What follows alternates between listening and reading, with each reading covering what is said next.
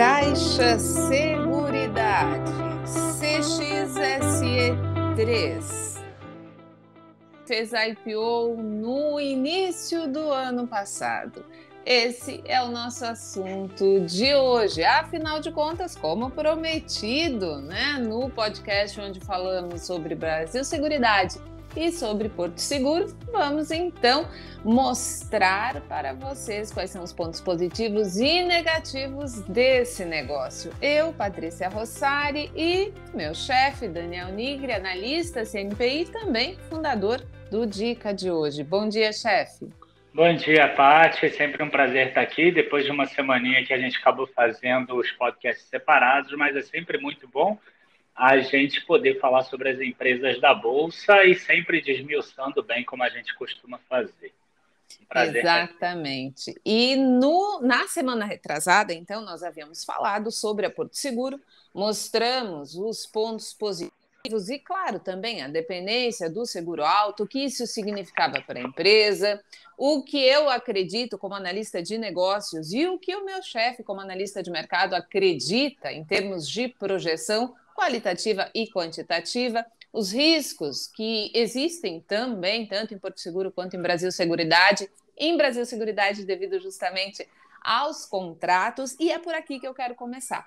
Afinal de contas, quando se fala em Caixa Seguridade, dois pontos são muito importantes e eles se destacam na maior parte das análises uh, que a gente encontra aí pelo mercado. Por quê? Primeiro, porque vem a mão invisível do Estado. Nossa, mas é muito perigoso, estatal nem pensar.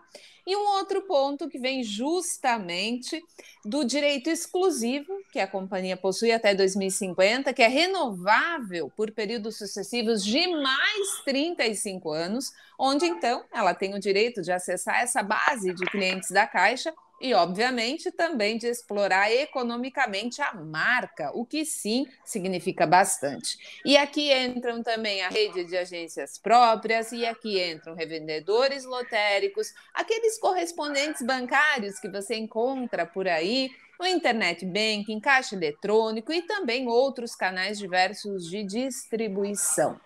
E então vem aquela velha pergunta: nossa, mas será mesmo que esse risco estatal ele já está precificado no negócio? Essa é uma pergunta muito recorrente. Outro ponto também diz respeito a preço. Claro, é sempre muito importante falar sobre ele. Afinal de contas, no IPO, a empresa movimentou cerca de 5 bilhões de reais, ficou dentro da faixa indicativa, né? A faixa indicativa ia de R$ 9,33 até R$ 12,67. Ela saiu em R$ 9,67 e hoje a cotação dela está mais baixa do que na época do IPO. Então, eu acho que podemos começar por essa pergunta. Realmente, o fato dela ser estatal é um risco grande compensado por essa questão dos contratos? E vamos falar também daqui a pouquinho sobre os resultados, mas eu acho importante a gente começar por aí, chefe. Isso mesmo. É, eu acho até que a gente pode ainda voltar uma casinha antes para a gente falar sobre a questão do novo mercado. Uhum. É porque eu acho que se a gente comparar, por exemplo, a Caixa Seguridade com a BB Seguridade que a gente falou no outro dia, que eu acho que essa é a principal questão, as duas têm a questão estatal, né? Uma da Caixa sim, Econômica, sim. outra do Banco do Brasil. Então, se a pessoa investe em BB Seguridade, não investe em Caixa Seguridade por causa do risco estatal, não tem nada a ver, né? Então, ou a Mas pessoa aceita investir, ela pode investir nas duas, Uhum. Ou ela não investe com risco estatal e aí não investe em nenhuma das duas, né? Então uhum. eu não vejo, eu não vejo como a pessoa possa investir em uma e não investir na outra por causa do risco estatal. Mas tem uma questão que é interessante com relação ao novo mercado, porque a BB Seguridade, quando abriu capital na Bolsa, ela fez ali um IPO que ela colocou 66% ou 67% de ações do Banco do Brasil uhum. É, quer dizer, o controlador continuava sendo o Banco do Brasil com esse percentual e o resto era free float. Né? E a Caixa Seguridade ela fez uma abertura de capital em que 82,75% das ações continuam sendo da Caixa Econômica e só 17,25% é free float. É, a primeira coisa que chama atenção aqui é o seguinte: uma canetada é mais fácil numa empresa que só tem um free float mais baixo de 17,25%. Seria, por exemplo, um fechamento de mercado da forma mais tradicional possível ou não, se bem que isso é difícil acontecer agora que a empresa acabou de abrir capital, mas a gente sabe que tem eleições, as coisas mudam e etc. É, a segunda coisa é com relação à própria regra do novo mercado, né? Porque todo mundo que olha qualquer videozinho no YouTube já deve ter visto que novo mercado mínimo é 25%. Tá? É 25%, mas tem alguns asteriscos ali né, na lei, isso que é legal, a gente ficar sempre, sempre lendo os asteriscos. É, sempre tem.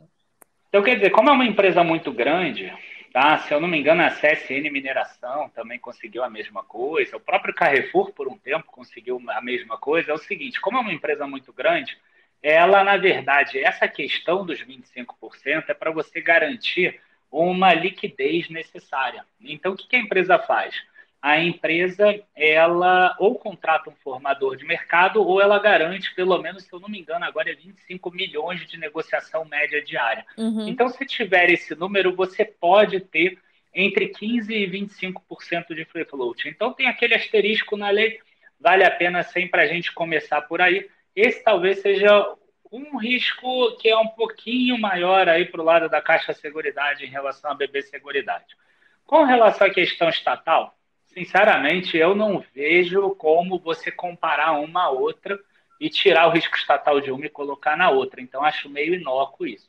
Se você quiser comparar a Caixa Seguridade, talvez com a Porto Seguro, aí tudo bem, você poderia colocar isso na conta. Mas aí eu já acho que são empresas muito diferentes. Tá? Eu, como a gente vai ver aqui, né, e como a gente falou na última live, eu já acho que são empresas, embora sejam seguradoras, já são empresas diferentes. E aí eu acho que depois a gente pode passar para a estrutura societária da Caixa Seguridade, que é interessante e é muitíssimo parecida com a da BB Seguridade, com a diferença, como você falou, que os contratos vencem muito mais para frente. Exatamente. E isso é uma coisa interessante, porque muita gente acredita né, que o perfil não é tão importante, o perfil do investidor não é tão importante, que ele precisa ir se adaptando e mudando. Só que tem algumas coisas que eu acho importante a gente respeitar. Por exemplo, quando tu fala, ah, free float só tem X%, é muito mais fácil da Caixa de Seguridade, por exemplo, numa canetada, numa canetada acabar fechando capital ou, enfim, adotando outras estratégias estratégias. E tu já me conhece, obviamente, há alguns anos. Eu não disso. acho que isso vai acontecer, tá, não, tá, pessoal? Claro que não, claro que não. Mas eu estou falando no sentido assim de como é importante você avaliar essa questão de gestão, essa questão de estruturação, porque vai muito de encontro àquilo que tu acredita ser importante dentro de um negócio. Eu, por exemplo, como investidora, como eu não gosto muito de empresas onde o controlador ele está muito, muito forte dentro dessa composição. Então, eu acho que tem que ter um limite aí de poder. Eu sei que tem gente que pensa diferente, porque ah, se o controlador tem lá 80, 85%, é porque ah, é o olho do dono que engorda o boi. Eu sou mais avessa. Eu acho que quanto mais pulverizado e quanto mais cabeças tu tiver pensando e quanto mais condições tu tiver de tomar decisões diferentes para cenários diferentes, melhor. Então, essa questão que o Daniel está falando, ela é sim muito importante, essa questão de estrutura, essa questão do quanto de fato representa essa mão invisível do Estado. Em relação a. Isso aí a gente pensa diferente, não vai ter jeito. Exatamente, a gente pensa diferente em muita coisa, eu acho que isso é pois muito é. importante, né? É muito importante porque assim a gente escuta um ao outro, assim a gente vai evoluindo, a gente muda ou não de opinião, a gente vai aprendendo, né? Isso é sempre o mais importante. Em relação Na minha a... visão, assim, a economia brasileira ainda não está pronta para empresas com capital pulverizado, salvo raríssimas exceções. E eu sei que você gosta de uma que é a Renner, mas ok, é, a empresa que tem capital pulverizado no Brasil tem que ter pós-ampio, tem que ter um monte de coisa, mas isso é tema para outro podcast. Eu, eu gosto, eu gosto muito de empresa com controlador. Eu acho que tem muita empresa boa que é mal precificada e tem muita empresa ruim que é bem precificada justamente por essas variáveis que, no meu ponto de vista, já são antigas demais para se manter. Mas, enfim, como tu disse, é assunto para outro podcast. Vamos Isso. falar então dessa questão que tu uh, acabou comentando no final da tua fala sobre a estruturação, a composição. O que, que é importante a pessoa ficar atenta, então? Então, é, a grande questão é a seguinte: a gente tem que voltar um pouquinho no tempo, né? E aí a gente vai acabar entrando na WIS, que hoje em dia parece que ela não tem nada a ver com a Caixa de Seguridade, mas ela tem tudo a ver. Sim. Ela teve um IPO lá atrás uhum. de uma empresa chamada Par Corretora, é. Que era a Parque 3, que hoje é a WIS, né? Uhum. Essa empresa, ela tinha contrato com a Caixa e ela operava o mercado de balcão da Caixa, né, dos Isso. correspondentes bancários e etc. Então ela tinha o controle sobre todos os produtos e ela ganhava comissão sobre esses seguros que eram vendidos lá dentro da Caixa. A Caixa Seguridade é uma empresa que iniciou as operações dela em 2015. E em 2017, a Caixa Econômica avisou que ela não iria renovar o contrato que terminava da UIS em 2021, que foi esse que aconteceu ano passado e que está fazendo as receitas da UIS caírem tanto, por exemplo. Tá? Só que assim que a Caixa avisou isso, a UIS já caiu né, de 23 para 6 reais. É. Mas na época era par corretor, era Parque 3. Uhum. Mas vamos voltar para a Caixa. O que, que era o. Qual era o grande objetivo da Caixa? Né? Obviamente, ganhar mais dinheiro. Uhum. Né? Não tem outro motivo da empresa falar que ela não vai renovar o contrato e ela vai, enfim, abrir uma empresa nova para procurar novos parceiros para conseguir, enfim, é, fazer essa operação dentro do, do, dos correspondentes bancários dela. Uhum. Então, o que a Caixa fez foi assim, ela esperou terminar o contrato, está dentro da lei, né? Alguns podem achar que é sacanagem, outros não, mas enfim, está dentro da lei, está dentro do contrato, ela podia fazer isso. Aí ela fez uma licitação, tá? E dentro dessa licitação ela dividiu em cinco partes o, o balcão dela de negócios. Então ela tem lá o segmento de vida prestamista, previdência privada, que quem ganhou foi a CNP tá? que é aquela empresa que era também controladora lá da Par Corretora. Uhum. A parte habitacional residencial, quem ganhou foi a Tóquio Marine Seguradora. Isso. A parte de capitalização, quem ganhou foi a Ecatu. Serviços de assistência, quem ganhou foi a Tempo. Tá? E a parte de consórcio também foi a CSN Assurance. Uhum. Né? Então, é, essas empresas, elas têm uma participação nesses produtos e a Caixa entra como 49,99% das ações ordinárias, da mesma forma como é o BB Seguridade. Né? Então, o método de contabilização já fica igual, porque é pela equivalência patrimonial, por exemplo, e a participação econômica da Caixa, tirando a parte da vida prestamista, previdência privada, todas as outras são 75%, exatamente igual à BB Seguridade. Então, qual a grande diferença? Né? A grande diferença é que os contratos da BB Seguridade foram assinados em 2012. Uhum. E os contratos dessas empresas que ganharam a licitação agora foram assinados em 2021. Então, o período que a gente tem para jogar na perpetuidade a Caixa Seguridade é maior do que o da BB Seguridade. Logo, a gente tem condição de precificar para cima a Caixa Econômica. Esse é uhum. o primeiro ponto. O segundo ponto é o seguinte: quando a gente fala da BB Seguridade, a gente está falando de uma companhia que já é a líder do setor de seguros, vida, previdência e etc. aqui no Brasil, até porque ela tem muitas agências. Uhum. E a Caixa Econômica é o terceiro. Então, eu sei que tem muita gente que gosta de investir no maior, né? Mas Sim. qual que tem mais potencial de crescimento? O que tem mais potencial é o terceiro lugar não é o primeiro, né? O primeiro é mais difícil ele se manter do que o terceiro conseguir crescer, por exemplo, o receita. Então, eu acho que isso explica um pouquinho esses múltiplos um pouco mais esticados na Caixa de Seguridade. Tá? Esses dois pontos, os contratos mais longos e o fato dela ser a terceira, logo ela tem potencial de atingir aí uma quantidade maior de negócios e de receita ela tem um percentual de crescimento de receita colocado ali nos nossos modelos um pouco maior do que a da BB Seguridade. Uhum. E isso, como a Daniel falou, diretamente ligada a essa questão de que você vai olhar essa previsibilidade de contrato E, claro, entra muito também a questão de percepção. Ou é uma empresa que pode pagar muito dividendo. E isso foi muito, muito falado na época do IPO. Essa precificação se dava também na percepção de que se você tem uma maior previsibilidade de receita devido a esses contratos mais longos, você tem também condições, visto que é uma empresa que não necessariamente vai fazer grandes investimentos em inovação, em tecnologia, faz, mantém, óbvio, tem a necessidade de uh, aplicações para crescimento, né, para ganho de mercado, mas já tem uma capilaridade muito grande que vai ajudar, então, nesse upside que pode vir a acontecer, dado que ela tem ainda mercado para tomar dessa concorrência, e se fizer da maneira certa, pode de fato acontecer. Esses dividendos, antes da gente falar sobre os últimos resultados, que não foram assim tão bons, e foram sim menores do que o mercado esperava. Mas essa uhum. questão de dividendos, porque afinal de contas a gente falou isso lá na BB Seguridade, né? Essa previsibilidade, né, que acaba acontecendo, ela também é justificada quando se fala nessa precificação maior dos indicadores na Caixa Seguridade?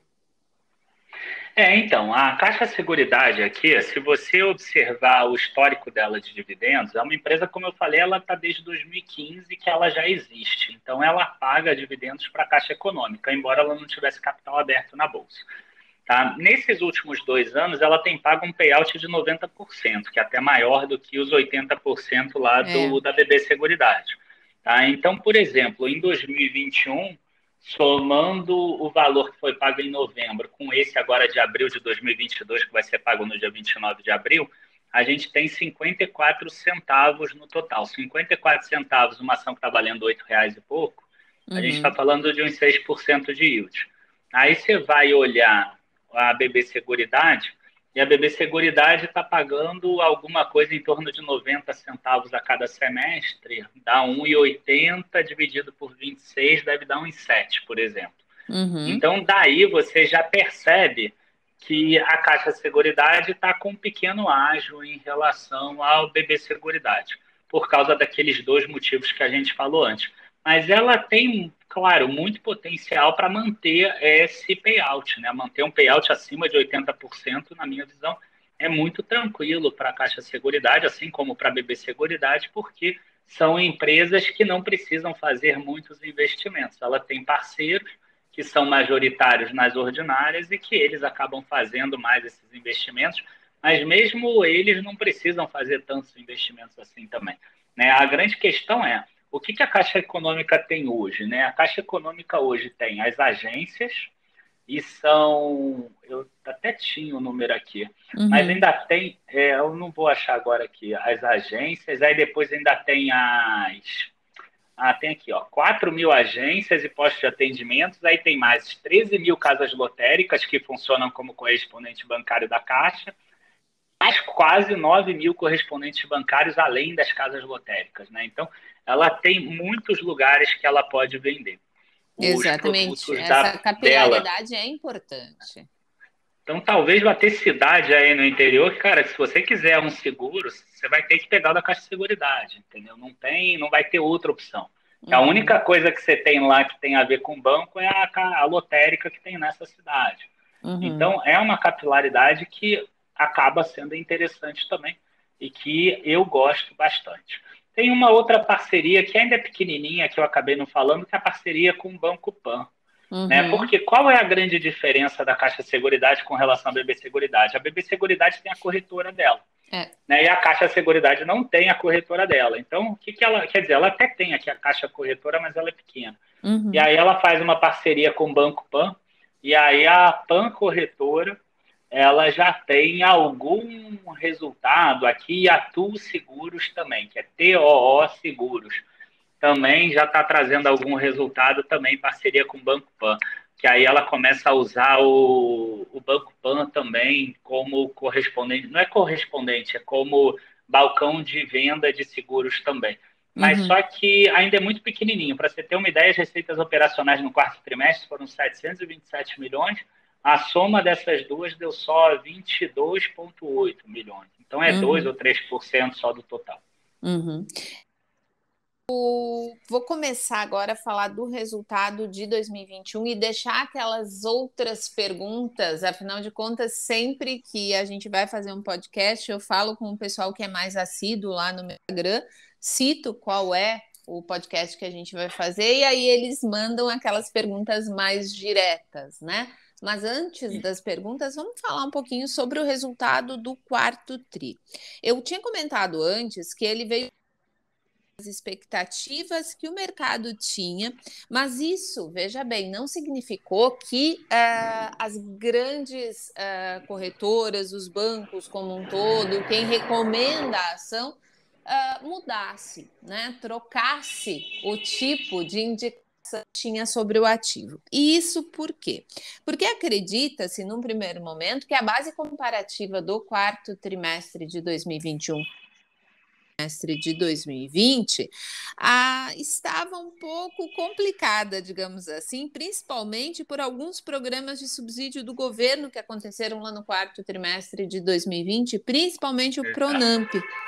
Então, isso fez com que aquela variação anual negativa né, que foi devido justamente a esse segmento prestamista. Então, mais de 40% na variação anual. Então, queda dos prêmios emitidos ali na casa dos 9%, devido justamente a esse impacto do prestamista. Poderia ter assustado mais do que assustou. Mas o mercado entendeu que essa base comparativa estava prejudicada. Então vamos começar por aqui. De fato, foi um fraco desempenho que ela teve no quarto trimestre de 2020. Tu enxerga dessa maneira? É, eu não vejo dessa maneira. Na verdade, o que acontece é que ela passou por uma modificação nesse último ano porque, como eu falei antes, a WIS, que tinha os contratos, ela deixou de ter. Então, agora, o que, que acontece? Né? Ela tem uma receita que é dividida em três partes, na verdade. Você tem resultado de investimento em participação societária. Uhum. Isso não mudou muito. Isso, inclusive, cresceu legal. Ó, cresceu de 320 milhões para 366 milhões, por exemplo. Tá? Então, esse aí é um, um dado que é interessante.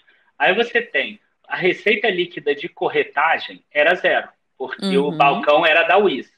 E esse valor foi para 343 milhões. Né? Então, uhum. esse é um número que é interessante. E aí, como é que a Caixa Seguridade ganhava dinheiro? Ela ganhava pela receita de acesso à rede de distribuição e uso da marca. Isso. Então, a Caixa Seguridade ganhava essa rede de distribuição e uso da marca, a WIS ganhava parte dela, pela venda dos produtos, e agora, o que, que vai acontecer? Essa receita de acesso à redistribuição e uso da marca vai reduzir e a receita líquida de corretagem vai começar a entrar para a Caixa Seguridade também. Uhum. Tá? Então, teve uma inversão aí. Enquanto antes ela recebia mais pelo acesso à rede de distribuição, porque ela tinha um parceiro que era a WIS, que antes era par corretor, agora ela recebe diretamente pela líquida de corretagem.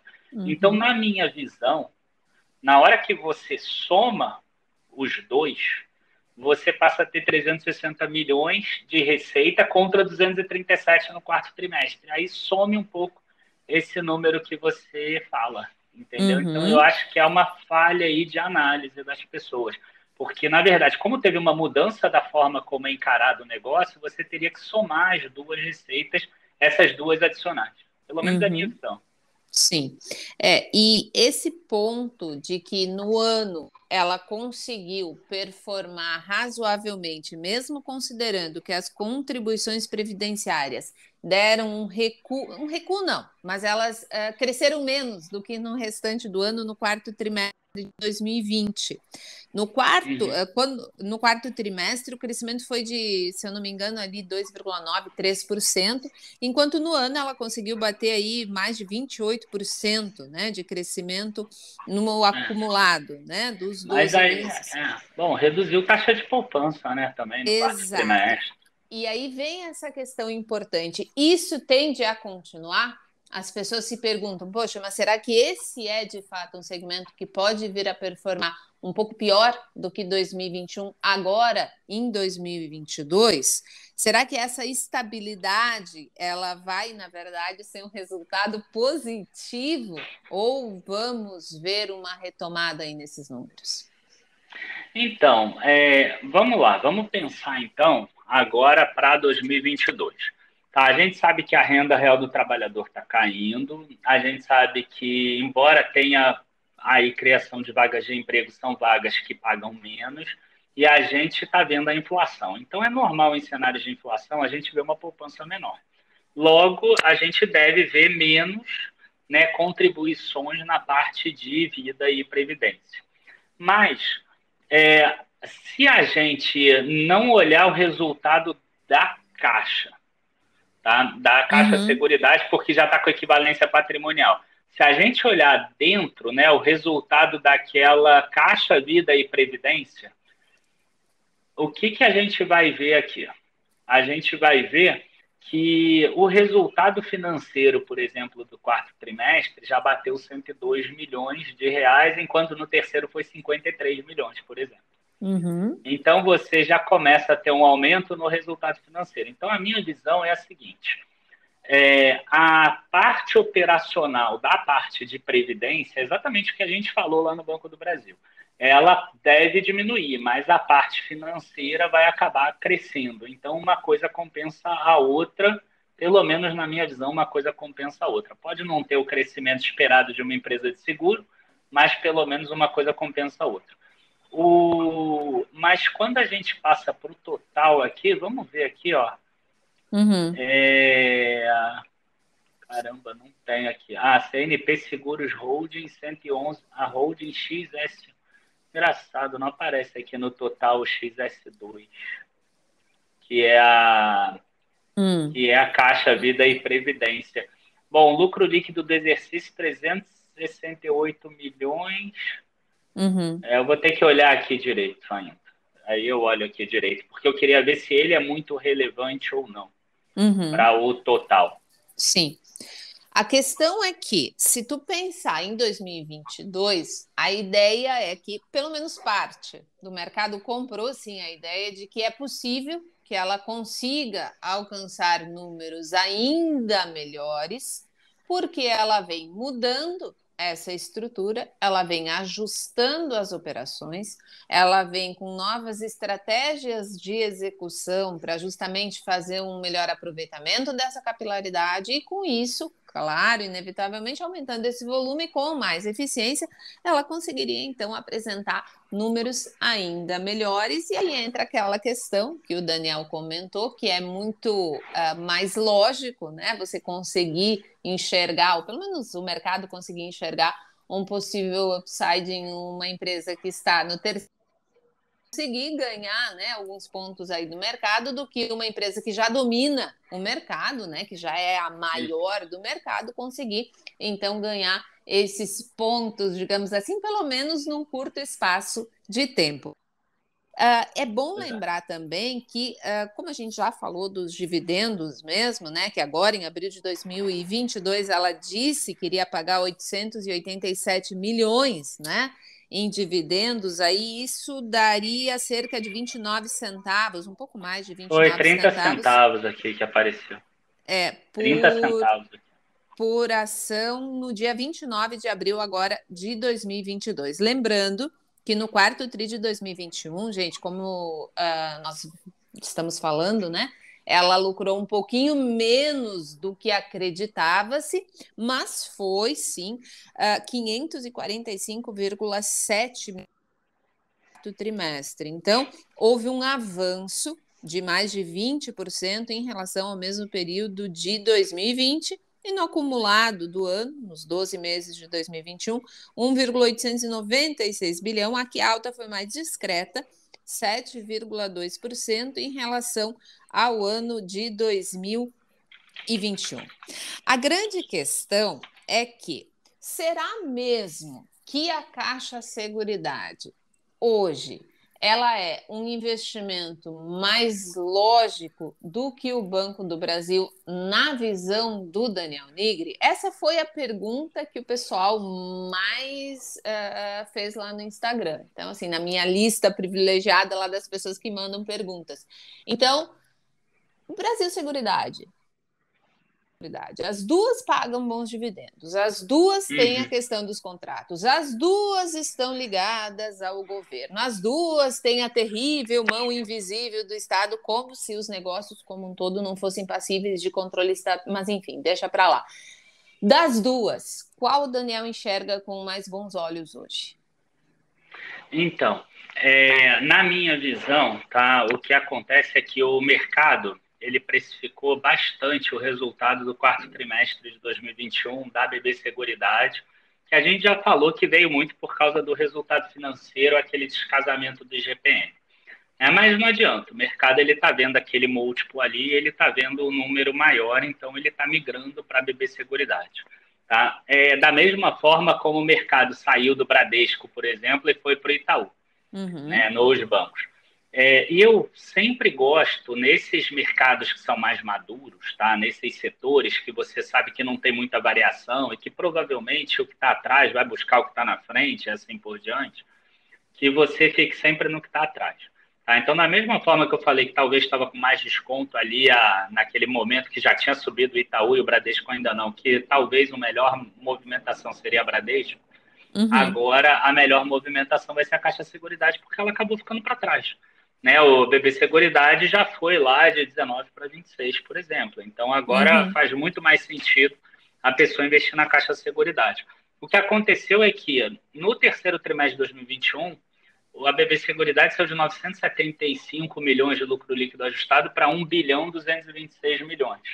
Uhum. Enquanto isso, a Caixa Seguridade subiu de 492 milhões para 545, então subiu muito pouco. E aqui a gente já vê também, né, o tamanho da Caixa Seguridade. Ela é metade do Banco do Brasil, mais ou menos. Uhum. Né? Porque ela não tem esses negócios de distribuição. Se você tirar o negócio de distribuição do Banco do Brasil, você já tem o, um valor muito mais próximo. Tá? Uhum. Então, é, eu particularmente acredito que nesse momento, nos preços atuais, seria a Caixa Seguridade uma, uma um, um case melhor, uma recomendação melhor, comparado com o Banco do Brasil Seguridade, também por causa do, dos contratos, como a gente falou no início. Uma outra pergunta também que chegou aqui foi assim, ó. Ah, no IPO, ela estava cara? Considerando o cenário, que tínhamos na época da abertura do capital, ela de fato foi precificada com um otimismo exagerado, considerando que na época já havia projeções de que a economia não andaria de uma forma tão leve, tão tranquila? Tá, assim, eu discordo que tinham essas projeções, tá? Abriu o capital no início do ano de 2021, no início do ano 2021, as ações estavam muito caras, tanto que ela bateu o all-time high do, do Ibovespa. Mesmo assim, a gente precificou ela bem para baixo, a gente botou ela com preço-alvo na época de R$ 8,15. Então você vê que a ação está chegando nesse valor, ela bate nesse valor às vezes. Só que o mercado hoje mostra que ela é uma empresa que já cresceu um pouco mais os resultados, né? Ah, cresceu pouco, mas cresceu. Né? Então, uhum. na minha visão, é, eu, você sabe que a minha avaliação de bebê seguridade é um preço-alvo abaixo do preço-alvo atual, né? Então, Sim. na minha visão, entre as duas seria a Caixa de Seguridade. Caixa de Seguridade, para mim, é recomendação de compra e bebê seguridade seria recomendação neutra hoje. A, a uhum. verdade é essa. Teve um aumento ah, pequeno de 7,2% no lucro? Teve, mas ok, né? Isso acontece. Quando a gente pega o resultado dela, se a gente pegar só a receita, por exemplo, uhum. olha só que interessante, é uma das coisas que eu mais gosto de fazer em empresa de seguro, porque é importante a empresa estar tá crescendo. Sim. Né? Então ela teve 2 bilhões 451 milhões de receita em 2021. Em 2020 uhum. já foi 2 bilhões 165 milhões. Em 2019 uhum. foi 2 bilhões e 6, né? Então ela subiu também. Uhum. Em 2018 foi 1 bilhão 671 milhões. Sim. Né? Aí vai, 2017 1 bilhão 530 milhões.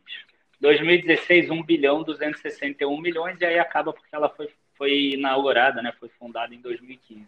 Uhum. Então você vê que em cinco anos ela dobrou já a receita dela. Uhum. Né? E por que isso? Porque ela é a terceira, né? Porque se ela fosse a primeira, ela não ia conseguir isso. Exato. Entendeu? Agora, o lucro saiu de 1 bilhão e 82 milhões para 1,896, subiu um pouco menos, ela perdeu um pouco de margem. Uhum. Ela agora está tendo que se encontrar com esses novos parceiros, não é mais a Luísa, a coisa já estava azeitada. Então, você tem um pouco de sinergia para entrar aí no meio. Uhum. Entendeu? Então, na minha visão, né, hoje ela está com uma das menores margens líquidas que ela tem, sabendo que tem muito de equivalência patrimonial. E essa uhum. margem líquida é 77%, por exemplo. Sim. Né? Lá atrás era 84, 85.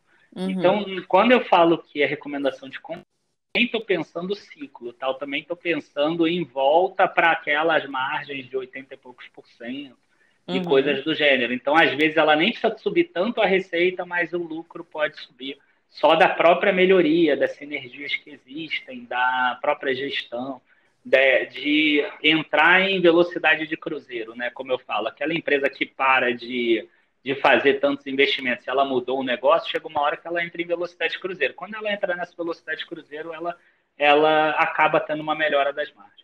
Exatamente. E como tu comentaste desse material, ele está disponível no site, se eu não me engano, só para o assinante, né? Quando ocorreu o IPO da Caixa de Seguridade, caso alguém ah, não sim. tenha lido ainda é, e tenha interesse em conhecer um pouquinho mais sobre o negócio, basta que você entre ali no site, vai ter um lugarzinho ali em cima para você fazer a sua busca, digita o código da empresa ou o nome da empresa e vai aparecer para você então a análise do Daniel Nigri do negócio e também, claro, considerando na época que foi escrita essa questão da precificação. Lembrando, então, que do IPO até hoje houve uma desvalorização de quase 17% no ativo. Hoje a cotação dela fica na casa dos R$ 8,30. O mínimo que ela já bateu foi R$ 7,80, mais ou menos, R$ 7,80 e alguma coisa, no fechamento, Mas essa claro, né? queda tem a ver com a questão macro, não tem a ver Exatamente. com o si. É isso que eu ia falar. Então, você que entrou no IPO, você que estudou o negócio, que uh, acreditou né, na tese, no negócio, gosta do setor, entende a previsibilidade, gosta da geração de renda dos dividendos que é proporcionada por esse tipo de empresa, precisa sempre lembrar que, afinal de contas, nós tivemos uma pandemia em 2020, nós tivemos uma continuação da pandemia em 2021, nós tivemos uma inflação que veio desde então aumentando, um poder de compra que foi comprometido da maior parte da população, aliado a uma taxa de juros que a gente sabe está sempre muito ligada à análise de seguradora, né? É aquela máxima, nossa, mas então a Selic aumentou, o resultado financeiro das seguradoras explode. Em contrapartida, é. com a Selic mais alta, vende-se menos seguros porque o poder de compra dessa população acaba sendo comprometido. A gente falou sobre isso lá na Porto Seguro, a gente falou automóveis da cadeia automotiva e tem uma relação direta com isso também. Mas é importante. Agora, que... ô Paty, eu hum. acho que é importante a gente falar sobre um ponto que é talvez uma das principais linhas de receita da Caixa de Seguridade, que é a parte do prestamista, do seguro prestamista. Uhum. Você chegou a falar, né, certo, de forma correta, com relação ao aumento de seguros, né, que tem aí morte, invalidez, perda de renda, doenças graves, falou sobre a questão do Pronamp. Então, quer dizer, normalmente você acaba tendo uma venda casada de um seguro junto com isso, né? Uhum. É, prestamista dívida zero, enfim, um monte de coisa dessas. E aí o que acontece é que nesse ano a gente já começa a ter uma queda dos prêmios emitidos do prestamista. Exato. Então você tem uma redução disso, o mercado acaba precificando que pode ter uma redução, e essa é uma linha de, de, de, de negócios importantes, mas o que eu gosto de trazer é o seguinte: é que quando teve esse aumento, como era um seguro prestamista de uma coisa também do governo, que tinha muita quantidade de gente, o que, que acontecia com a comissão? A comissão ia lá embaixo. É. Né? Então, no segundo trimestre, por exemplo, 2021, bateu 39,8% comiss o comissionamento do prestamista. Então, é uhum. o percentual do prêmio ganho. Terceiro trimestre, 40. No quarto uhum. trimestre, já foi para 43. Então, por um lado, reduz o prêmio emitido, por outro lado, o comissionamento não cai tanto assim, porque aí vai entrar os seguros prestamistas, que uhum. são, entre aspas, reais, né? que não tem a ver com a sinistralidade da Covid, ou com. Não é com a sinistralidade, mas com a questão da Covid ou qualquer coisa do gênero. Uhum. Ah, então, é um outro ponto que é importante também, que às vezes a empresa vai ter um aumento de receita, mesmo com uma redução de prêmios emitidos. É, e é importante lembrar que a Câmara aprovou, se eu não me engano, na semana passada, o texto que prorroga, então, a vigência até o final de 2022 desse programa uh, do Pronamp, uh, que havia, a princípio, né, sido estimado encerramento no final de 2021. Ou seja, aquilo que você tem lido com frequência nos relatórios do Dica de hoje, afinal de contas, a nossa equipe de analistas faz sempre a análise do cenário macro também, entender que muitas dessas empresas que ou estejam na carteira do Dica de hoje ou não, afinal de contas, eles fazem também análise de empresas que não necessariamente estão na carteira, né? Podem ser prejudicadas ou de alguma forma, sim, ajudadas por essa questão macro, por um programa específico, por uma questão específica, como, por exemplo, essa questão dos riscos maiores em relação ao seguro rural. Isso virou notícia nas últimas semanas na, em grande parte dos jornais econômicos. Então, gente, isso sim afeta algumas projeções que os analistas fazem para determinadas empresas. Então, essa questão da prorrogação do Pronamp é uma que acaba afetando sim a forma como se enxerga determinados negócios no curto prazo. Por isso é sempre importante, sim, que uh, o cenário macro esteja aliado ao cenário micro. E pensando nisso, então, eu vou fazer aquela pergunta ótima para o Daniel, né? Você acredita que, de fato, manter seguradoras na carteira para 2022 seja um ótimo negócio, porque elas vão sim ser ajudadas por essa questão da continuidade do aumento da Selic e, em contrapartida, sem um grande recuo, um recuo comprometedor nos números operacionais, ou seja, na receita? Sim, considero. Acho que é importante a pessoa ter seguradoras na carteira. Eu só não acho melhor do que elétricas e bancos nesse momento. Uhum. Seguradora seria aquele top 3 de segmento nesse momento para você surfar 2022. Né? Uhum. Agora, isso não significa que na minha carteira eu já não esteja comprando outros tipos de ativos, já pensando 2024, 2025, coisas do gênero. Tá? Exatamente. Aí já seriam outros ativos completamente diferentes. Aquela pessoa, eu sempre repito isso, uhum. né? Aquela pessoa que pensa só curto prazo, né? Ah, qual o melhor para 2022? você compra aquele melhor para 2022, aí depois uhum. em 2023. Qual o melhor para 2023? A pessoa provavelmente vai ganhar menos dinheiro do que aquela que se prepara para o 2024 2025. Por Exato. quê? Porque às vezes uhum. você está preparado para 2024, 2025, mas aí vem uma surpresa grande, né? O mercado antecipa e você ganha isso em 2022. Exatamente. Entendeu? Então, às vezes acontece isso. E, claro, vale lembrar você também que não é assinante do Dica de hoje, existem várias carteiras aqui dentro, né, chefe? Tem a carteira para a pessoa é, que quer acumular para a Previdência, tem a pessoa que já está aposentada e que quer fazer uso né, desse valor para continuar né, pagando as contas, enfim, vivendo. Tem aquela outra carteira que é também para quem gosta um pouco mais de risco, né? A small caps. Sim, tem a small caps. Tem carteira para quem está começando, empresas mais consolidadas que a beginner. Você Exato. tem carteiras internacionais, que tem seis, sete carteiras internacionais. Você tem carteira de fundos imobiliários que eu costumo dizer assim, aquela carteira que vai te levar com segurança, mas ela não vai te deixar multimilionário. Exatamente. É, é, cara, eu acho que é interessante. Tem muita gente que, que busca exatamente isso, né? Ela não quer virar multimilionária, ela não quer entrar na, na lista do, da Forbes, né? Ela não quer ter 100 milhões, ela quer chegar lá no, no objetivo dela com segurança, gerando renda e etc. Então, para que tomar risco de um monte de small cap na carteira ou qualquer coisa do gênero? Cada um tem um perfil. Acho que a pessoa tem que entender isso, né? E parar de se comparar com o próximo. Acho que isso aí está matando um pouco a nossa sociedade. As pessoas querem ficar se comparando, elas deixam de viver a vida delas, deixam de ser elas próprias, enfim.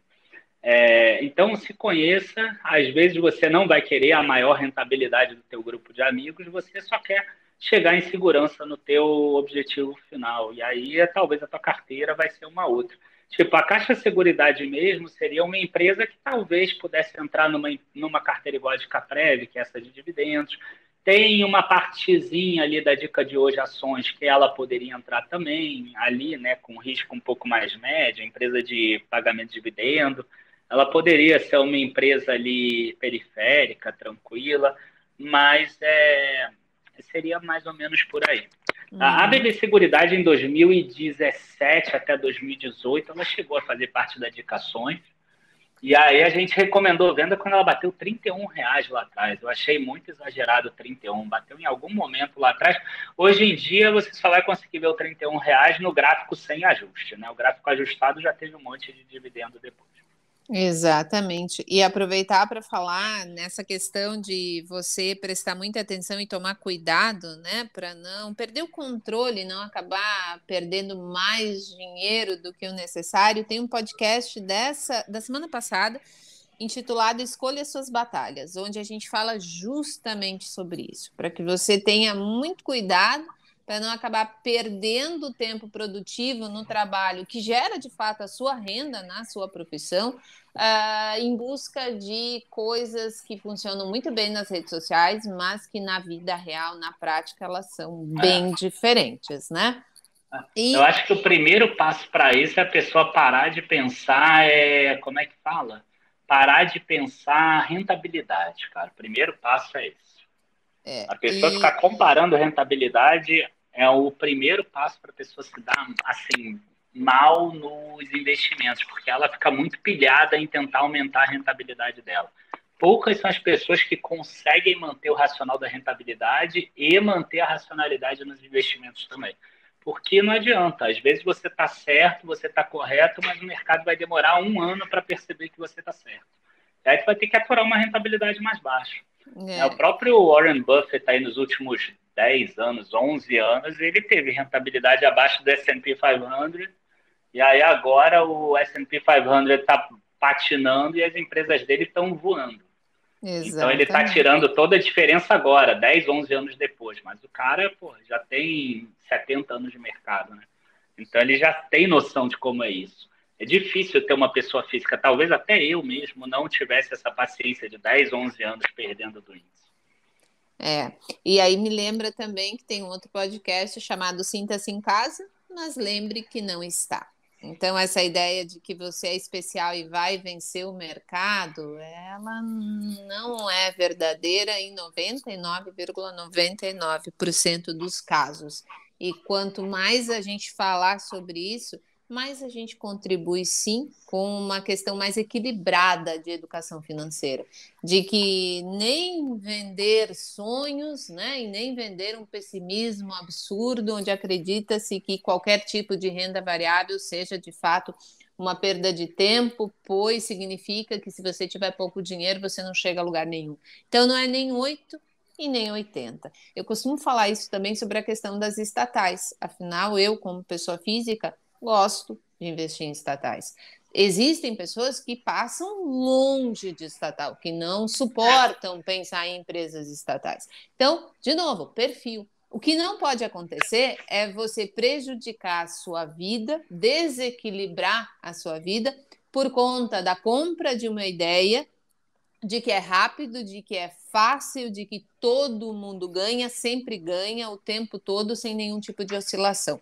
Isso não acontece em lugar nenhum e qualquer pessoa que esteja no mercado há alguns poucos meses sabe muito bem disso e sabe também que contar com a ajuda de um bom analista, de uma pessoa que de fato compreenda o mercado e compreenda a empresa que de fato corra atrás para ter as informações certas, que entre em contato com a empresa que está falando, ajuda bastante e evita que você perca muitas horas do seu trabalho mesmo, da sua vida produtiva, daquilo que de fato gera né, a sua renda de subsistência, buscando um diferencial, buscando aquele gatilho, aquele ativo super interessante que vai fazer a sua vida mudar. Então, quando a gente fala das carteiras aqui do Dica de hoje, a gente fala justamente para mostrar para vocês que existem possibilidades, assim como o Daniel disponibiliza muito material gratuito, como a gente faz aqui vários podcasts falando sobre livro, falando sobre economia, falando sobre negócios, é justamente no intuito de levar informação e discutir cada vez mais negócios, né? Porque a gente, infelizmente, vê com muita frequência inúmeras discussões, né? Em relação à opinião, o que eu acho, o que eu acredito, criticando uma coisa que é ruim, uma coisa que é boa, mas a gente vê pouca discussão de dados e de informações. Então, eu acho que isso é muito. Você tem todo o direito de não gostar de empresa estatal, Obviamente, você tem as suas justificativas. Quem gosta também tem todo o direito de gostar e todo o direito de investir. Cada um vai ser feliz desse jeito. Talvez um ganhe mais, o outro perca menos, né? Mas é a vida, né? Chefe, Mas estatal, hum. eu gosto sempre de dizer o seguinte: estatal para mim é arbitragem. Tá? Se uhum. você olhar no longo prazo, você comparar, por exemplo, Banco do Brasil com Itaú 15 anos. Cara, o Itaú passa de longe, por exemplo. Né? É, se você uhum. comparar a, a, estatal com aquela outra que é né, mais consolidada, você comparar a CEMIG com a Equatorial, a Equatorial vai de longe, entendeu? Uhum. Se você comparar sempre a estatal com a outra não estatal, a não estatal pô, anda muito bem. É, agora, você tem alguns períodos que você consegue fazer uma arbitragem boa. Então, só para uhum. dar um exemplo, por exemplo, a pessoa que estava comprada em Sabesp, a empresa subiu de 35 para 50 por causa do, da, da possibilidade de talvez uhum. privatizar-se o Tarcísio por eleito. Cara, para mim, o 50 já é venda, entendeu? Eu não vou Sim. ficar esperando para ver se ela vai ser privatizada, para ver se ela chega em 60 ou 65. Então, uhum. é algo similar ao que eu faço é. em, em Petrobras, né, o próprio Banco do Brasil aí batendo lá no, no valor patrimonial já é um valor que, cara, embora para outros bancos fosse barato, para ele já é algo que eu tomaria um pouco mais de cuidado e por aí é, vai. Então, para mim, a arbitragem. Uhum. Para mim, a arbitragem. Você uhum. vai comprar quando está barato e ninguém quer, e você uhum. vai. Até porque você ganha muito dividendo. Sim. E aí depois você vende no momento que tiver alta. Quando vai acontecer o momento? Não sei, pode demorar um ano, dois anos, três anos, pode ser em um mês, igual aconteceu essa história do Tarcísio, enfim. Uhum. É isso. É, é mas aí eu faço venda vendendo opção, né? Claro, existem ganha possibilidades. Mais dinheiro, é. Exato, exatamente. Inclusive, a gente esqueceu de falar, tem também a carteira de opções, né, chefe? Sim, inclusive semana que vem vai ter o Poder das Opções, que é um, um workshop aí bem legal, que vou estar eu e Marcelo Meurer, que é o head de opções, que a gente vai falar muito sobre estratégias. E nenhuma estratégia dessas assim, não é nada de fique milionário da noite para o dia, nada disso. Uhum. Tá? Estratégias que você vai ganhar aí com consistência 2, 3, 4% ao mês e que é muito legal para você aumentar e melhorar a tua capacidade de aporte, melhorar e reduzir o teu prazo até tua aposentadoria, até teu objetivo, vale muito a pena olhar também e ver. É, Exatamente. É, hum. Tem uma última coisa que eu queria falar da Caixa Seguridade. Sabe o que, que é? Hum. Que o ela tem um agrupamento de resultados que aí ela tira da equivalência patrimonial e que é muito uhum. interessante no resultado e que dá para comparar bem com o Banco do Brasil com a BB Seguridade. Então, o que você quer ver? A parceria as caixas, que são a soma daqueles negócios todos que a gente mostrou, né, aquelas todas empresas, uhum. você vai ver que teve ali uma margem operacional de 565 milhões e teve um resultado financeiro de 301 milhões. Isso gerou um resultado líquido de 345 milhões tá? uhum. tá, nesse trimestre. A parte da Brasil Seg Seguros, por exemplo, deu 540 milhões. Então já dá para a gente ter uma ideia quando a uhum. gente compara isso. A parceria do Banco Pan deu 22 milhões, como a gente falou antes, aí é exatamente o equivalência patrimonial. E o negócio de distribuição deu 193 milhões. Aí quando consolida tudo, dá 545. Então, uhum. a gente consegue perceber tá? o, as diferenciações ao longo do tempo. A gente vai conseguir ver se o negócio de distribuição está crescendo mais, Exato. se a parceria do Balcão Pão, se a parceria Caixa. Aí a gente no futuro a gente vai ter uma análise muito melhor da Caixa Seguridade. Esse é um uhum. outro ponto também, por isso que eu sempre coloco um desconto para IPOs, uhum. porque tem algumas coisas que não adianta, só com a experiência de olhar o, material, de olhar os resultados. É, histórico é importante, com certeza. Histórico é importante, não adianta. É, não é uma questão de repetição, não é isso que o analista faz. O analista não pega o histórico e repete, né? Replica. Não, mas ele usa o histórico, afinal de contas, as gestões elas tendem a se comportar de forma muito parecida conforme os ciclos vão acontecendo. Se você pegar qualquer empresa aí que esteja no mercado há mais tempo, você vai entender o que eu estou falando. É claro que ao longo do tempo a gestão vai mudando, mas se você pegar um histórico mais curto, você vai ver que as estratégias que a empresa adota estão diretamente ligadas ao perfil daquele grupo de gestores. E Agora, isso você quer ver uma coisa? as empresas. Você quer ver uma coisa que eu não gosto na Caixa de Seguridade? Hum já que a gente falou bem da Caixa de Seguridade, por exemplo, quando você pega despesas administrativas do da BB Seguridade, você pega ali 17,7 milhões em 2021. Uhum. A Caixa de Seguridade foi 20,3 milhões só no quarto trimestre, foi 69 milhões no ano. Uhum. Enquanto a BB Seguridade reduziu 6,9% a despesa, a Caixa, por exemplo, subiu 28%. Uhum. É claro que tem a IPO aí no meio que botou para cima essas despesas, né? Deve ter muita despesa extraordinária, uhum. mas é um ponto que me chama atenção, por exemplo, e que eu mas... já fico meio pé atrás. Por uhum. exemplo, uhum.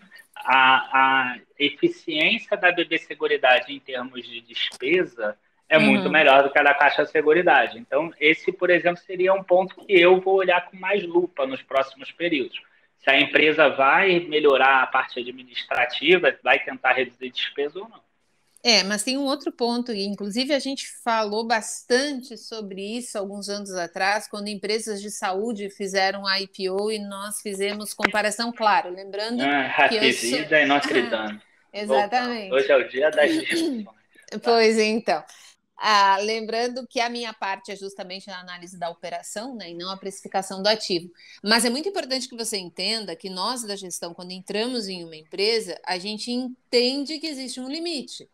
Quando você tem uma empresa que já é enxuta, que já é redonda, existe um limite do que você consegue reduzir de custo sem prejudicar a operação. Então, custo, gente, não é aquela coisa que tu vai tirando, tirando, tirando, tirando eternamente. Não é assim que funciona. Agora, isso é na Pratapom, isso. Agora, em contrapartida, quando tu tem um negócio, quando tu tem um grupo, por exemplo, vamos a Ambipar, né? Que o chefe fala bastante sobre Ambipar, enfim, que tem bastante material que você pode estudar aqui no Dica de Ouro. Você tem uma empresa que faz novas aquisições, essas novas aquisições, ou o caso mesmo da Tupi, que anunciou uma aquisição ontem, né? Que podem vir com margens menores e que a gente sabe vai levar, leva um tempo para qualquer empresa que faça uma fusão muito grande conseguir sinergias, né? Desse grupamento de sistemas mas elas, cedo ou tarde, se a gestão for eficiente, elas acabam acontecendo. Então, essa redução de custo, ela precisa sempre ser analisada no contexto do que está acontecendo com aquela empresa, na estratégia daquele negócio. Então, isso é muito importante que fique claro. E isso vale também para que você entenda que diferentes segmentos têm diferentes estratégias em relação a custo e capex.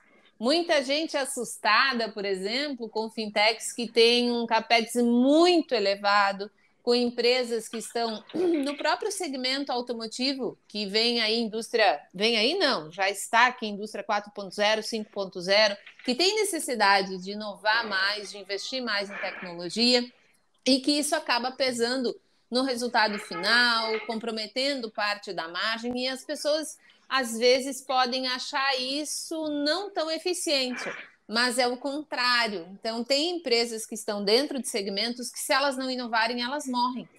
Tem outras empresas que estão dentro de segmentos, como por exemplo a Caixa de Seguridade, que são consolidadas e que, se traçarem uma estratégia adequada, têm condições de reduzir esses custos e de conseguir ganhar mais mercado. Vai acontecer? Não sei, ninguém sabe. Nem as próprias empresas têm certeza, mas claro que elas trabalham para que isso aconteça, né? Exato. é, é muito por aí mesmo. Mais alguma empresa coisa... hoje em dia que hum. tem, tem, inclusive, custo que é maior do que a, a própria receita dela. Exatamente. Às vezes isso é temporário por um evento específico. Inclusive, a gente teve empresas aí do setor de tecnologia que eu, particularmente, acho que estão muito bem posicionadas e que têm uma grande demanda futura previsível, que tiveram uma geração de valor negativa. Então, assim, opa, o que, que aconteceu? Aí tu vai ver e vai entender que é um evento ali mais uh, pontual. Agora, isso Sim. significa que a empresa dizer que é pontual não vai acontecer no próximo. Eu não posso colocar a mão no fogo pela empresa, vou ter que esperar o próximo trimestre. Então, é sim, análise de negócio, e quem trabalha em gestão sabe bem disso, em projeto, é um exercício de paciência. As coisas não acontecem quando você quer. As coisas acontecem porque são resultado de um conjunto de pessoas e de variáveis trabalhando juntas, né? Enfim, para resumo de conversa, então, você pôde compreender que o Daniel Nigri gosta de Caixa Seguridade, de que na comparação com a BB Seguridade, apesar dela estar com os indicadores um pouco mais né, uh, altos, né, um pouco na melhor é, Na verdade, quem viu na, desculpa, Paty. Na verdade, quem viu o nosso outro podcast sabe que eu prefiro entre essas a Porto Seguro, né? Mas, Sim. assim, uhum. aí seria na ordemzinha, seria Porto Seguro, compra forte, Caixa de Seguridade compra uhum. e BB Seguridade é neutro. Exatamente. É. Considerando... Se Seguridade for a 30, aí vira venda, para é. mim. Não e assim como se... valer se a, a Brasil Seguridade voltar a 17, 16, é outra história. Ah, é. Nem é, abaixo de 20 já é compra. Exatamente. Bom, chefe, quer se despedir aí do, do pessoal? Bom, gente, eu queria agradecer aí de novo estar tá aqui. Obrigado e obrigado por estarem ouvindo aí. Já passamos de uma hora. É, é, importante sempre vocês tomarem cuidado quando vocês investam. Nunca se esqueçam que é o dinheiro que vocês trabalham tanto para conseguir fazer esses investimentos. Então a gente tem que ter um pouco mais de diligência, a gente precisa se preocupar um pouco mais com ele e saber que não adianta, né? Você achar que é só investir e esquecer, porque você tem que acompanhar pelo menos um mínimo. Então, é, eu acho que o recado é esse. É uma empresa que nesse ano deve andar bem, pelo menos na minha visão, pelo menos a parte financeira vai conseguir andar legal e então quer dizer já é como se ela estivesse trabalhando com vento a favor. A, a gestão teria que fazer muita bobagem para não ir bem, né? As empresas de seguro. E aí a gente já viu, a Porto Seguro já subiu um pouco, a BB Seguridade subiu também. Eu acho que seria um movimento natural a Caixa Seguridade subir também. Então pode ser aí um num, num curto prazo também. Então, gosto da Caixa de Seguridade nesses valores. Exatamente. E uh, já que a gente falou de todas as carteiras, vou citar aqui também a carteira plena, né? Que o Daniel também participa, que reúne aí essa parte de opções, a parte internacional, a parte de renda fixa, a parte de renda variável. E eu fico sempre muito feliz, assim como quando a gente falou sobre a dica beginner na semana retrasada, né, da analista da Daphne. É muito legal. Isso é uma das inúmeras qualidades que o Daniel tem. Uh, parte dos analistas que assinam essas carteiras e que fazem essas recomendações fez o curso de análise fundamentalista avançado aqui do Dica de hoje. Então, eu sempre fico muito feliz e o pessoal uh, teve bastante pergunta lá no Instagram que a gente falou da Daphne, que ainda não conhecia a carteira de Dica Beginner, mas que ficou interessado, porque justamente estava com dificuldade em fazer uma análise mais aprofundada dos negócios, né? E não tem tanto material gratuito com precificação, né? Então, existe muita gente que precisa uh, desse auxílio, né? Então, é muito legal né? Saber que o Dica de hoje faz todo esse trabalho e também que esses analistas hoje que assinam essas carteiras uh, estudaram com a gente, aprenderam com a gente e seguem aí evoluindo na profissão, né? Enfim. Obrigado, pai. Imagina. Muito obrigada pela e audiência. Cuida da garganta. Né? É, pois é começa o outono, o frio começa a aparecer, a garganta sofre, não adianta. Muito Oi. obrigada pela companhia de vocês. Eu espero que vocês tenham gostado do nosso podcast, da nossa, da nossa conversa, da nossa troca de informações aqui. Lembrando que também tem outros podcasts mais curtos, onde eu falo sobre livros, onde a gente fala sobre gestão, outros onde o Daniel faz um giro de mercado, comentando aí os principais resultados, comentando. Amanhã que... vai ter. Exatamente. Amanhã vai ter porque vai sair hoje a produção da Vale. E é algo que me interessa muito. Porque você sabendo a produção da Vale no sistema Sudeste, você tem uma ideia também de como vai ser a CSN mineradora, vai ser bacana. É, ela acaba sendo um parâmetro né, para o resto do, do, do, setor. Enfim, então tem podcast aí para todos os gostos, eu espero que vocês aproveitem e, claro, continuem mandando aí sugestões de livros, sugestões de assunto e a gente vai então se encontrando aí ao longo da semana. Muito obrigada pela companhia, uma ótima. E a gente se vê no próximo podcast. Um abraço. Um abraço.